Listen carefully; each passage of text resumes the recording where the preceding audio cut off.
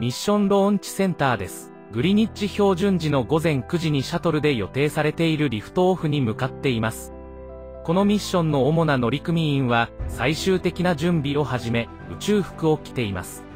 ETA 発射管制センターに到着するまで10分。私は、ここの発泡室にいます。3つのステージに25万ガロン以上の液体酸素と液体水素を搭載しました。宇宙飛行士が発射施設に到着したという確認を受け取っています。これらは、宇宙船のハッチが配置されているパッド自体で300フィートのレベルまで上がる2人の個人です。コマンドモジュールは、予備チェックを行うために10分前に開かれました。ミッションローンチセンターです。T-3 時間0分。宇宙飛行士のカウントダウンに関する限り、時間通りに T-2 時間30分とカウント。宇宙飛行士が乗っています。ハッチが閉まり、災害検知システムのチェックを行っています。コマンドセンターは順調です。現在、ガイダンスシステムチェックを実施しています。声に、ロジャーそれ。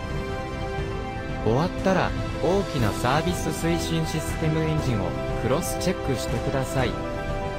ロジャーそれ。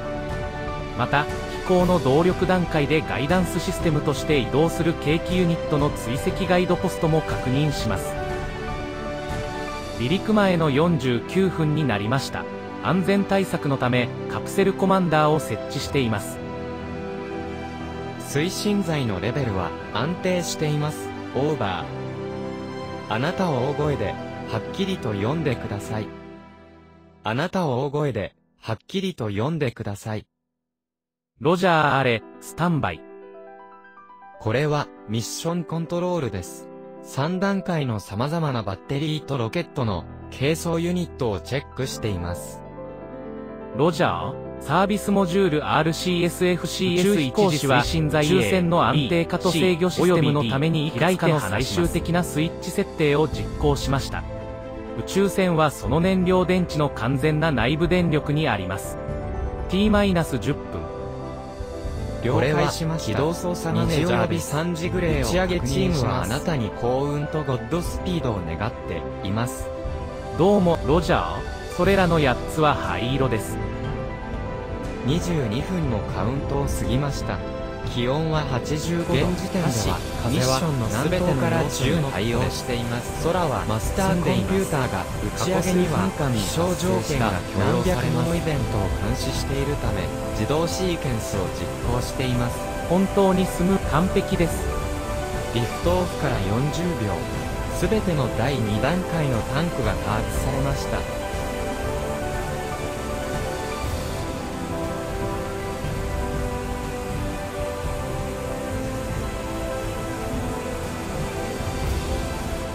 10、9、点火シーケンスが開始します。6543210、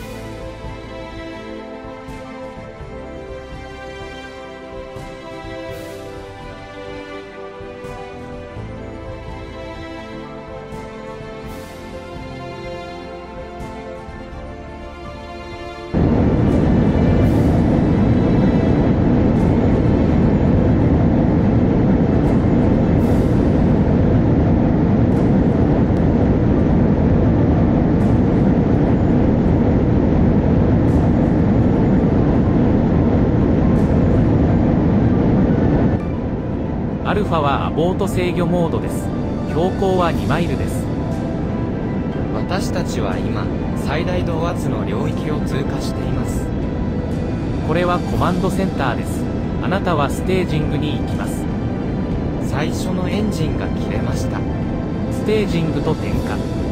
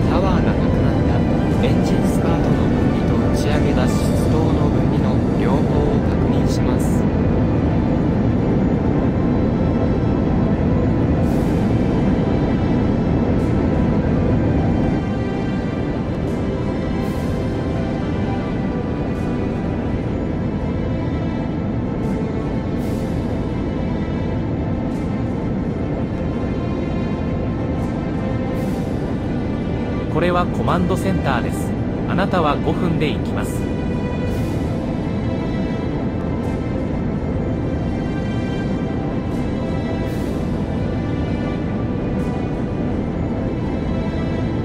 ダウンレンジ270帰りマイル 500km 高度82帰りマイル 152km 速度毎秒1万2472フィート。3801m スラッシュ S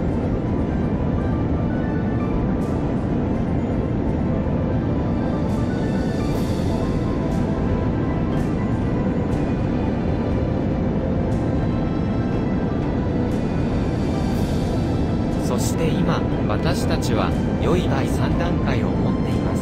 ステージ3は時間通りにシャットダウンします。